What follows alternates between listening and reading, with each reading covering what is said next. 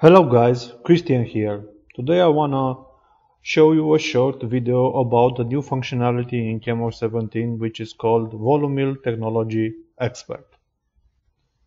As you may know, in the older versions in CAMWORKS, when you want to use a roughing strategy with a Volumill pattern, you will have to use a secondary application from the developer of Volumill, Celerative Technologies, which is called Milling Advisor all you have to do is it insert all the uh, informations needed by the milling advisor and you will have uh, feeds and speeds recommendation for the Volumill. You will uh, later on go to the feeds and speeds tab in uh, older version of CAMWORKS and put the proper feeds and speeds. Right now in CAMWORKS 17 you will practically have the milling uh, advisor inside CAMWORKS, but more, you will al already uh, have the informations of the machines and the geometry of the tool inside this new tool. The new tool is called Volumill Technology Expert.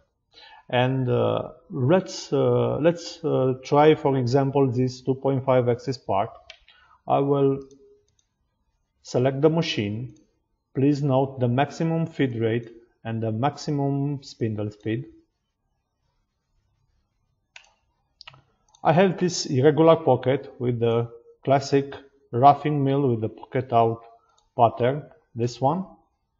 And I will insert a new operation with the Volumill pattern. So in the roughing tab, I will choose it uh, in pattern Volumill Go to feeds and speeds defined by tool, uncheck link to tool and Volumill technology expert it's enabled. So please note the maximum RPM and maximum feed already for the informations when I select the machine. It's these informations uh, it's defined in technology database. The geometry of the tool the material type, material hardness, coating, part holding, machine taper, tool holder type.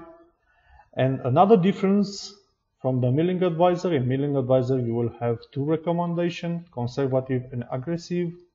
Right now you have three and this slider, conservative, selective, aggressive, and of course all design informations are already inside feeds and speeds tab and roughing operations in step over and uh, depth of cut. So hit OK, generate toolpath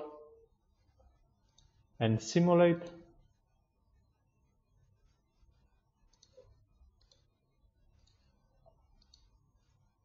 And this is the roughing with a Volumill pattern. This is a new enhancement in 17 and I'm very thrilled about it and I want to show you guys. Please feel free to leave a comment, subscribe to my YouTube channel. Until the next video, bye bye.